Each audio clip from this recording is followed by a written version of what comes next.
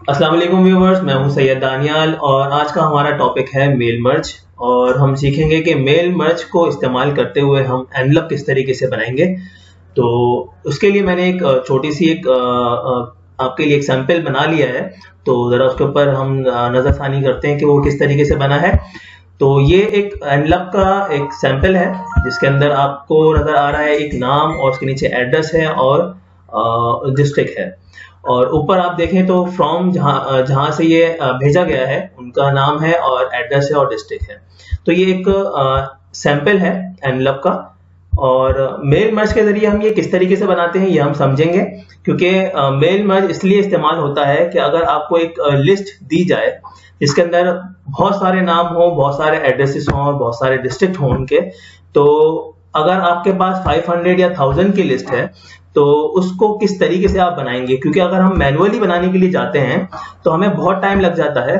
तो इसलिए हम मेल मर्ज का इस्तेमाल करते हैं ताकि हमारा काम आसान हो जाए हम जल्द से जल्द अपनी लिस्ट कंप्लीट कर लें और सब सारे मतलब एक तरीके से बन जाए। ट्रिक है ये किस्म की। तो वो किस तरीके से बनाई जा, बनाई जाती है? चले वो हम चेक करते हैं। तो उसके लिए सबसे पहले हमें एक डेटा चाहिए होता है जो कि हम एक्सेल पे बना लेते हैं जो कि मैंने ऑलरेडी बना के रखा हुआ है। इस तरीके से आपने एक एक्सेल पे आपने एक शीट बना लेनी है। इसके अंदर आपका सारा डेटा होगा, उसके अंदर नाम लिखे होंगे जिन जिन को आपने लेटर भेजना है। और उनके सामने आपने एड्रेस लिखना है और उनका डिस्ट्रिक्ट लिखना है।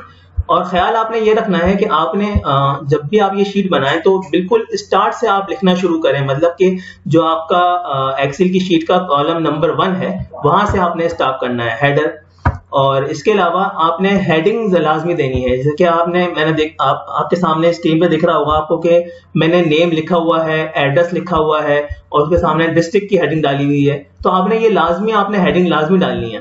तो आपने ये एक शीट बनाने के बाद आपने एक्सेल की फ़ाइल को बंद कर देना है और माइक्रोसॉफ्ट वर्ड को ओपन करना है।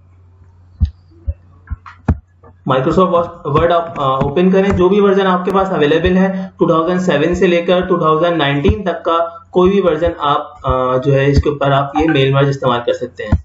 तो स्टार्ट करते हैं। सबसे पहले आपने मेल मेलिंग्स के टैब में जाना है। उसके बाद आपने स्टार्ट मेल मर्ज के ऑप्शन में जाना है। तो आपके सामने कुछ ऑप्शन इस तरीके से आ जाएँगे जिसमें से आपने एनलव्स के ऑप्शन पे क्लिक कर देना है।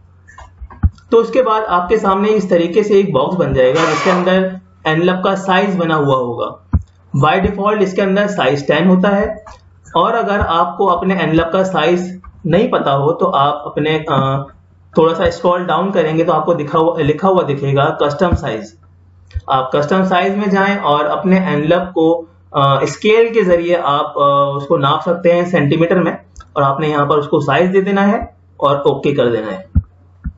उसके बाद जब आप ओके करेंगे तो आपके सामने ऑटोमेटिकली एक एनलप का साइज़ बना हुआ आ जाएगा इस तरीके से, जिसके अंदर आप जब क्लिक करेंगे तो आपको ये एक टेक्स्ट बॉक्स बना हुआ दिखेगा, जिसकी ऑटोमेटिकली सेटिंग बनी हुई होती है, जैसा आपने सिर्फ़ इसके अंदर नाम लिखना होता है इसके अलावा ऊपर जब आप क्लिक करते हैं तो आपको वहाँ पर एक और बॉक्स बना हुआ दिखेगा, जिसके अंदर आपको मैंने स्टार्टिंग में दिखाया था कि फ्रॉम जहाँ से वो एड्रेस लेटर आया है वो एड्रेस वहाँ पर लिखा जाता है। तो सबसे पहले हम फ्रॉम का एड्रेस लिखते हैं।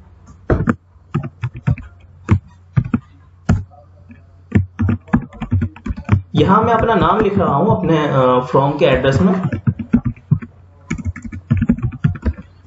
और उसके नीचे एड्रेस लिख रहा हूँ।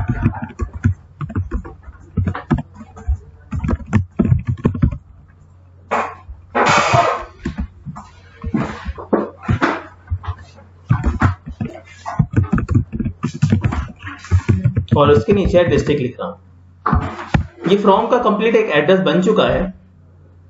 अब इसके बाद, जहाँ आपको मैंने दिखाया था, ये नीचे बॉक्स बना हुआ आ रहा है। आपने यहाँ पर क्लिक करना है। और इसके बाद आपने ये एक सिलेक्ट रिसिपेंट के ऑप्शन पे क्लिक करना है। और second option use an existing list पे क्लिक कर देना है। तो आपसे ये पूछेगा कि वो लिस्ट कहाँ पर है, जिसके जो आपको मैंने स्टार्टिंग में बताया था कि आपने एक डेटा बनाना है एक्सेल पे तो वो लिस्ट आपने यहाँ से इसको ओपन करा देनी है। जब आप ओपन कराते हैं तो इस तरीके से आपके सामने एक डायलॉग बॉक्स खुल जाता है, और वो पूछता है कि कौन सी शीट के अंदर आपका डेटा है, जिसके मेरी शीट शीट वन थी तो मैंने शीट वन पे क्लिक किया और ओके कर दिया। जब आप ओके करेंगे तो उसके बाद इंसर्ट मर्ज फ़ील्ड के अंदर जो आपने हेडिंग डाली थी जो कि मैंने स्टार्टिंग में आपको बताया था नेम एड्रेस और डिस्ट्रिक्ट की वो तीनों हेडिंग यहाँ पर आ चुकी हैं। तो सबसे पहले आ, हम नेम को सिलेक्ट करेंगे। जब आप नेम को सिलेक्ट करते हैं तो जहाँ पर आपको मैंने बताया था कि नेम लिखा जाता है एड्रेस लिखा जाता है वहाँ ऑटोमेटिकली इस तरीके से नेम लिखा हुआ आ गया है। अब इसी के नीचे हम अपना एड्रेस लिखेंगे इंटर प्रेस करेंगे और इंसर्ट मेल मर्ज के ऑप्शन में जाएँगे। और एड्रेस के ऊपर क्लिक कर देंगे।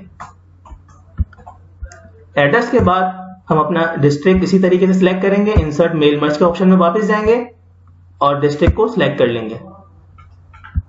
यह आपका एक लेटर कंप्लीट हो चुका है एनलप ये पूरा बन चुका है। अब नेक्स्ट स्टेप इसका फिनिश एंड मर्ज का है। यहाँ पर आपने क्लिक करना है।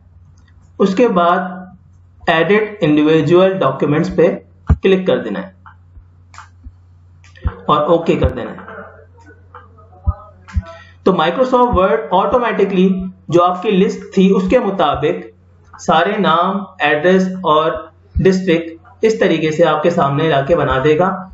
और जितने भी आपके नाम होंगे, चाहे वो 500 हो 1000 हो, जितने भी आपको एनलप बनाने हैं, वो इस तरीके से आपके सामने बन जाएँगे आसानी। एक क्लिक के ऊपर आपके।